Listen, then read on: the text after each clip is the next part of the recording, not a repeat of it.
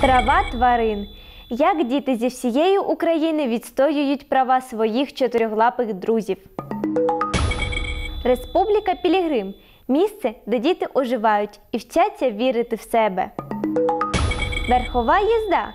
Як вести себе з кіньми і яких правил безпеки слід дотримуватися.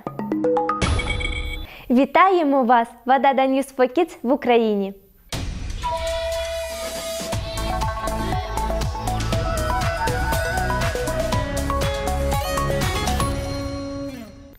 Нещодавно у нашій країні пройшов всеукраїнський марш за права тварин.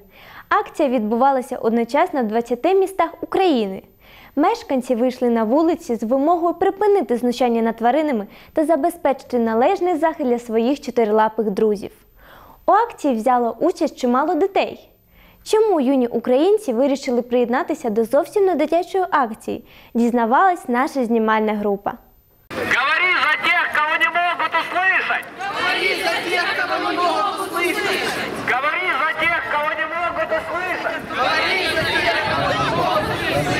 Я тут э, стою, чтобы поддержать э, всех собак, котов и остальных всех животных. Э, Потому что мне не нравится ничего, то, что с ними делают. И их выкидывают на улицу, ни- над ними издеваются, и мне это не нравится. Мне просто хочется, чтобы их любили, их любили и уважали. Некоторые люди, которые сюда пришли, они могут понять то, что этого делать нельзя, то, что это то, что животные, они, они живые, они не как, э, ну, они не земля, они не трава, они живые существа. Вы поймите, для чего это людям нужно. Для того, чтобы подкидывали туда животных. Добрый день всем. Очень рады девчонки, которые несут на своих плечах большой труд. Я не хочу, чтобы их сбивали плохие люди. У меня дома целый зоопарк. Кролик, рыбы, ч- девять котов, ну, несколько мы раздали, другим студентам маминым. Собака, рысая крыса, э, попугай, один, который у меня умер. И еще один десятый кот, который умер из-за того, что забрал у меня больные почки, был врач у нас кот. Мы с мамой подбираем бездомных кисок и раздаем, потому что у нас и так уже зоопарк, и больше корма надо больше денег, чем у нас есть, чтобы корм покупать. Мы их моем, чистим блок. Если там собака кусает их какая-то там, подбираем их все равно и тоже лечим. Но я даже бы, если бы у меня была машина, вырос бы, подорвался какой-то бы скот, я бы ездил по городу и собирал всех животных, которые там раненые, берут от огня там.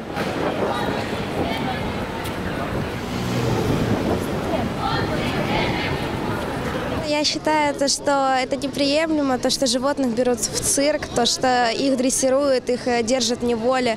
То, что животные, они должны быть на свободе.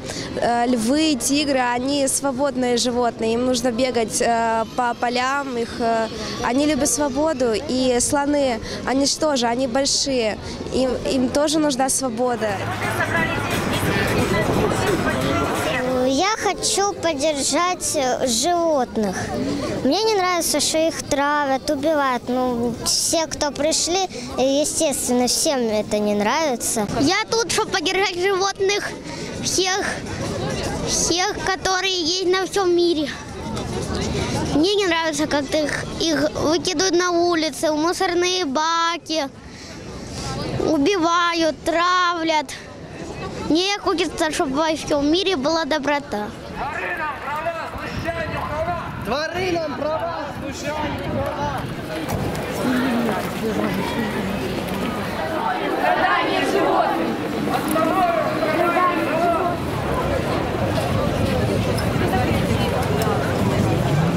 Я животных очень люблю, я им эмпатирую, я понимаю, что они испытывают эмоции, они многое понимают, и, естественно, они чувствуют боль.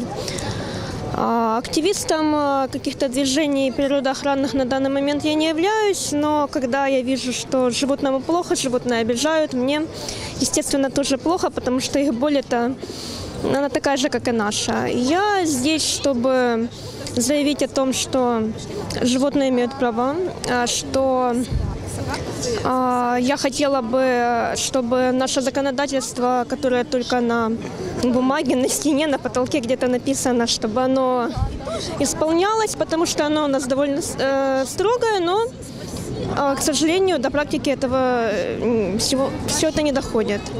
А Я хотела бы, э, чтобы э, люди обратили на это внимание, поэтому я здесь.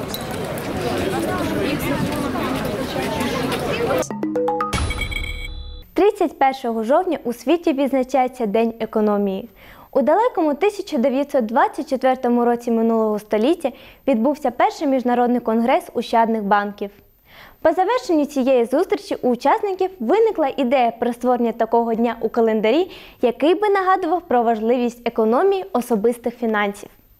У наш час ця тема не втрачає актуальності, і саме тому, на прикладі школярів з Покровська, ми вирішили розповісти вам, як правильно економити. Это моя копилка. Мы, я, мы ее купили на море, по-моему, в Урзуфе. Я, я ее сначала использовал как просто декоративную, так- декоративный предмет, но потом я уже начал собирать в нее деньги. Эта копилка у меня с самого детства, 6 лет. Она была раньше моей самой любимой. И когда у меня была мелочь, я в нее все время кидал. А сейчас в нее э, кидаю, там бывает, когда на черный день. Мне ее подарили, когда мне, э, когда мне было 7 лет, но я еще тогда не понимала, что он там копить деньги. И вот в 9 лет я только начала копить. Ну, вообще у меня есть разный способ заработка. Когда дают родители, когда там на праздниках. А вообще, э, в основном, э, есть Олимп Трейд, такое приложение. И там нужно предугадывать э, курс валюты или курс акции. И приблизительно за один сеанс я могу заработать 200 долларов. Калядую там на праздниках, на дни рождения, когда тоже крестная, крестная дают бабушка с дедушкой. И того, если не учитывать мой заработок в интернете, м, я тысяч десять гривен точно насобирала уже. Откуда ты берешь деньги? Ну, например, на разные праздники, на день рождения, э, может что-то там, ну, на конкурсах, может где-то выиграю, на выступлениях. За хорошие оценки папа с мамой дают. Э, э, на футболе хорошо выступаю. Э, э, матчи играю. И каждый день платят, ну, каждую субботу за каждый матч платят по 25 гривен. И зарабатываю сама. А как ты зарабатываешь? Ну, мы, ну, как бы э, подметаю мама на полу, и она мне дает, ну, 5 гривен. И так я понемножечку собираю. А у меня, у меня еще есть такие вот э, животные, морские свинки, знаете? Да, они воняют и всякое такое. Ну, одна свинка маленькая, морская, стоит 50 гривен. И вот это все я уже насобирала тысячу с чем-то. Прошлым летом мы съездили Одессу. Мне там очень понравилось. Как э, многие люди говорят, э, Одесса – столица мира. Я также считаю, и поэтому этим летом я тоже хочу туда поехать. На это я и собираю, чтобы мы всей семьей поехали. Сложно собирать деньги? Да, это сложно. Я маму вот э, понимаю, как она зарабатывает. И вот мой папа хочет себе машину купить, моя мама хочет себе кухню купить, а я хочу компьютер. Я насчитал 79. Я собираю деньги, чтобы поехать э, в, э, ну, в европейскую страну и представлять Украину э, в других странах. Например, во Франции. Там играют такие игроки, как Неймар, Кавани. В Испанию, там, где играют Месси, Роналду, Иньеста, Модрич. Я собираю деньги на фотостудию, потому что я очень люблю фотографировать. И мама говорит, что для того, чтобы ну, пойти в институт туда, то надо хороший фотоаппарат иметь. И вот я коплю деньги на фотоаппарат, фотос- фотостудию. Тарас Шевченко. Сергей Ярослав, Ярослав Що трапляється, коли порушуються права дитини батьками, коли за дитиною не доглядають, її не люблять. Дитина пропускає заняття в школі без поважної причини. Тоді дітей у таких батьків забирає поліція. Саме так сталося з Діаною із Краматорська, їй 13 років. Наразі вона перебуває у лікарні, а проти її матері відкрито карне провадження. Дівчинка розповіла, що з матір'ю більше жити не хоче, бо вдома брудно, і мати зловживає спиртним. Ты в школу ходишь? Мгм. А почему? У меня вши были. И что? Ну вот им обрабатывали. Потом еще это надо было еще медосмотр проходить. То мы с мамой должны были проходить. Она все час, ну так редко пила. Ну а ты скучаешь по школе, папе? Мгм. А ты хочешь вернуться в школу? Мгм. Почему? Потому что там интересно. Что бы ты хотела изменить у себя дома? Ну, чтобы было чисто. Подметала, вещи складывала, убирала. Хотела ванну помыть, но мама говорит, не надо, ведь химия вредная для кожи детской. Она вообще добрая. Ну, когда пьяная, может накричать, ну, а так. хм. Папа еще ей говорит, не пей, а она все равно пьет и пьет. Мне кажется, ей все равно. Пьет она, не пьет. Когда мы зашли в квартиру, где проживает эта девочка, честно говоря, мы ужаснулись, даже сотрудники полиции были шокированы этими жуткими антисанитарными условиями. Мать уже привлечена к административной ответственности по статье 184 Кодекса Украины про админправонарушение ненадлежащее выполнение родительских обязательств. Данные материалы направлены в суд. На данный момент э, мать э, принимает меры для улучшения санитарных условий в квартире. Ну а далее будет принято решение, то есть о возвращении либо не возвращении данного ребенка в семью. Якщо у вас є проблеми такі, як у дівчинки з сюжету, не соромтеся звернутися по допомогу на безкоштовну дитячу анонімну гарячу лінію. Експерти з прав дітей допоможуть і підтримують вас. Національна дитяча гаряча лінія 0800 500 225 або 772 для дзвінків з мобільного. Наступна історія про дивовижну дівчинку Катю, яка в 14 років залишилася сама зі своїми молодшими сестрами. Вона не вірить в чудеса, але мріє прикрасити свій будинок картинами, зробленими своїми руками. Для цього вона опанувала різні техніки вишивання, малювання та аплікацій. Бывают разные картины, могут делать с кофе и с лентов вместе, могут быть просто с кофе. М, Я еще делаю картины из лент. Вышивать лентами это тяжело, после них очень сильно болят пальцы. Ну, очень красиво, это красиво очень. Я не художник, но иногда мне получаются красивые картины. Сама я могу выбрать, у меня есть право выбора, на какую картину я должна при- положить усилия. Букеты какие-то рисую, иногда там животных каких-то. Такое неординарные иногда рисунки у меня бывают.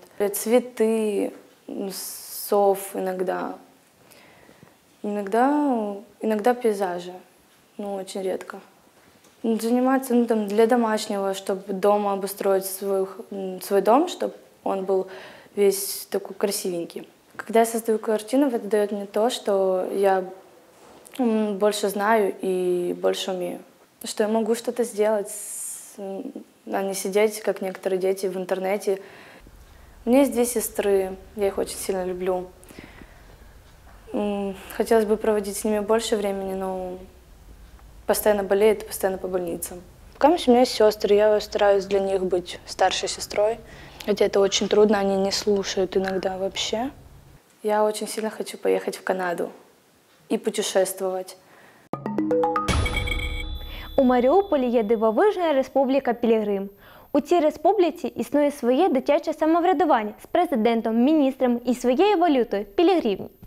Республіка Пілігрим це центр дитячої реабілітації, який допомагає підліткам, що потрапили в складні життєві ситуації, і допомагає їм повністю змінити своє життя, навчитися мріяти і вірити. Як же здійснюється дитяче самоврядування в республіці? Про це нам розповіли президент Пілігрима і міністр фінансів і охорони здоров'я. Я исполняю должность президента республики. На этом посту я буквально две недели, может даже и меньше. Моя обязанность следить за каждым гражданином республики, за жителем республики, узнавать его жизнь, проблемы, помогать, следить за министрами, ну, как бы я один ничего не смогу сделать, а командой мы сделаем. У нас в рес- в республике есть правительство. Были выборы, меня избрали президентом, также есть министерство.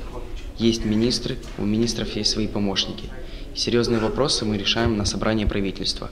Все вместе мы собираемся и решаем. Если как бы мы нуждаемся в помощи старшего, в этом есть у нас помощь директор и воспитатель.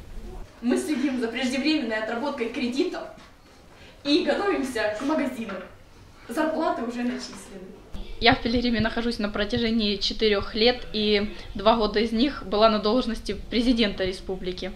После выборов, которые состоялись ну, где-то месяц назад, я обрела должность министра финансов, так как не могу больше являться президентом, потому что перешла в старшую школу и большую часть своего времени провожу там. А, Функция министра финансов заключается в том, что я должна следить за отработкой кредитов. Э, Это такая обязанность. Каждый должен отработать как бы кредиты. Старший отрабатывает 20 кредитов, младший 10. И кредиты можно отработать с помощью э, там, какой-нибудь трудотерапии, помощи воспитателю или помощи на кухне или э, на даче. Это обязательно. А отработка пилигримней – это по желанию. У нас в конце каждого месяца проходит магазин, где каждый житель может приобрести себе все необходимое. Это мыльно-рыльная, одежда, э, сладости, констовары. Это необыкновенные деньги, за них нельзя скупиться в обыкновенном магазине, поэтому мне кажется, это очень хорошо. Вот, это самая наибольшая купюра, на ней нарисован пастор, так как он у нас стоит выше всех. Э, Потом 200 пилигривней, это наш директор Татьяна Николаевна. Эм, На 100 пилигривнях это Андрей Дудин, первый президент. И я, первая президент-девушка, которая была на президентском посту два года.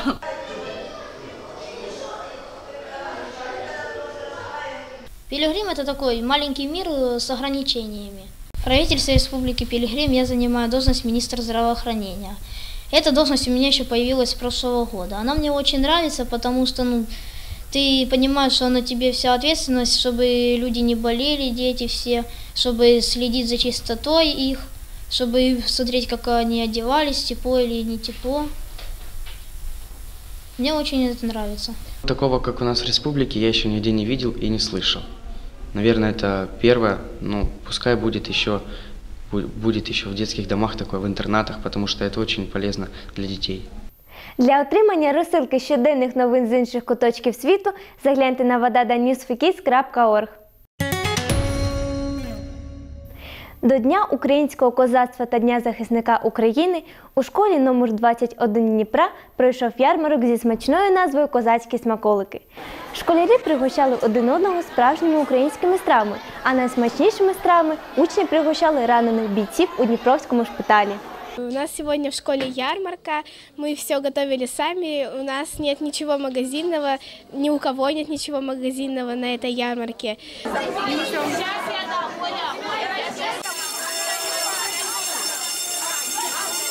Это все мы приготовили сами, все полезное, натуральное. Вот, например, э, рогалики со сгущенкой, блинчики с яблоками, вареники. Школярі із Слов'янська мріють стати чемпіонами з п'ятиборства. Вони навчаються у Донецькій обласній дитячо-юнацькій спортивній школі Олімпійського резерву. Два роки тому школа переїхала з Донецька до Слов'янська. Діти тренуються по дві години кожного дня. Їх набирають з 8-9 років. Тренери виховують універсалів, спортсменів, які вміють влучно стріляти, швидко бігати, плавати та їздити на велосипеді. П'ятиборство або пентатлон різноманітний, але дуже складний вид спорту. Проте дівчата не поступаються хлопцям ні в чому, а стріляють навіть краще. А все задля того, аби стати чемпіонами та здобути золото. Харківські спортсмени 12-річний Максим Манджус та 11-річна Олександра Шамрай стали чемпіонами світу з акробатичного рок-н-ролу серед юнаків 2017 року. До речі, не дивлячись на незначний вік спортсменів, це далеко не перший кубок пари, адже акробатичним рок-н-ролом вони займаються більш ніж 7 років. Нашим кореспондентам пощастило бути присутніми на тренировці у Максима і Олександри. Изначально меня привела мама, но потом я втянулся, и мне понравилось, и теперь я танцую. Проводился мастер-класс, э, выступали старшие дети, и меня привели родители посмотреть. Я получила мега позитивный заряд энергии и поняла то, что это то, чем я хочу заниматься всю жизнь. Э, Последние соревнования у нас были, это чемпионат мира в Бельгии. Заняли первое место, стали чемпионами мира. Большую конкуренцию нам составляла Украина, потому что э, были очень сильные пары, они очень хорошо подготовлены. Нарешті у нас хороші новини з Амстердама в Нідерландах для вас сьогодні і для нас насправді. Водада News for Kids Ukraine виграла премію Водада за 2017 рік на минулому тижні. Розповідь про Колю із Запоріжжя, яку ми показали в одному з наших епізодів, отримала нагороду журі та нагороду глядачів. Фільм був визнаний кращим серед 12 країн дитячим журі та аудиторією на церемонії нагородження в Амстердамі. Єдину нагороду професійного журі отримала Аргентина. Напевно, кожен підліток хоча б раз мріяв про роль кінного вершника. Адже коні такі красиві, сильні та граціозні тварини. Недарма верхову їзду називають королівським захопленням, адже вмінню триматися на сідлі з малих років навчають всіх принців і принцес. Але чи легко насправді стати наїзником? Про те, як поводитися з кіньми і яких правил безпеки слід дотримуватися, знає Люба з Добропілля. Два-три года назад папа впервые привез меня сюда на конюшню. Так как я увлекалась лошадьми, папа познакомился для этого с Иваном Николаевичем, э, мой тренер. Он научил меня всему, что я знаю сейчас. Сейчас. О, да. Опа, ножку, вот, молодец. Поправляй, поправляй стремя. Стремя Стой. поправляй. Лошади – это живые существа, у которых есть свои эмоции, чувства и страхи. Прежде чем сесть на лошадь, с ней нужно познакомиться. К лошади нельзя подходить резко, не прыгать возле нее, не махать руками, так как лошадь очень пугливое животное по своей природе. Э, К лошади нужно подходить плавно и лучше всего знакомиться через вкусняшку, так лошадь легче подкупить. Лошади любят сахар, хлеб сушеный, сухарики, яблоки и самая любимая морковка. Нельзя сказать точно, какой у лошади характер. У каждой лошади это индивидуально, так же, как и у людей. Каждый нужен свой подход, свое общение. Кому-то нужны ежовые рукавицы, кому-то пряник. Все, молодец, умница. Сейчас подъедешь, постоишь. Постой, останови ее. Стоять. Пожалей так. Ну повод не бросай. Ни в коем случае повод не бросай. Так как э, лошади весят в основном э, около полутонны, э, сложность это совладать с их характером и сидеть верхом показать, что ты хозяин, что лошадь должна тебя слушать. Ну, для начала, перед тем, как вывести лошадь э, покататься, грубо говоря, ее нужно почистить, ее нужно расчесать, прочистить ей копыта. А если копыта отрастить, ну, если копыта у нее отросли, их нужно подрезать, чтобы они не мешали при движении. Ай, молодец. Стой. Молодец. Хорош. Это чемпион. Ай, молодец. Пришпиона, прилипает. Чух, молодец, молодец. Стой. Сьогоднішня розповідь підлітка прибуває з лиману. 16-річна Яна повертає нас до літа 2017 року. Ну, принаймні це план. Подивимося, що вийде.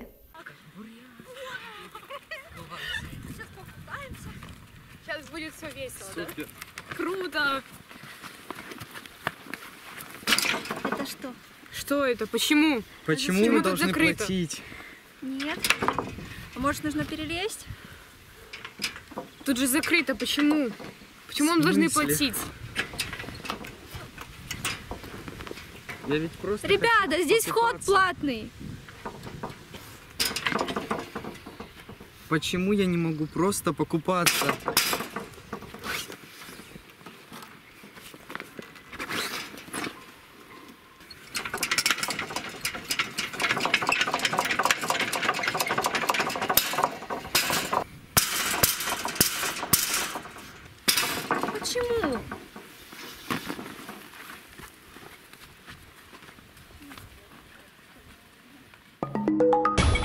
Головні новини сьогодні були. Права тварин. Як діти зі всієї України відстоюють права своїх чотирилапих друзів. Республіка Пілігрим місце, де діти оживають і вчаться вірити в себе.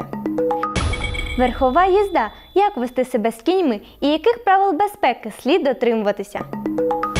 Ще більше свіжих новин доступно 24 години на добу, 7 днів на тиждень на vadada.newsforkids.org на вашому мобільному або комп'ютері. Спасибі, що дивитесь нас. Зустрінемось!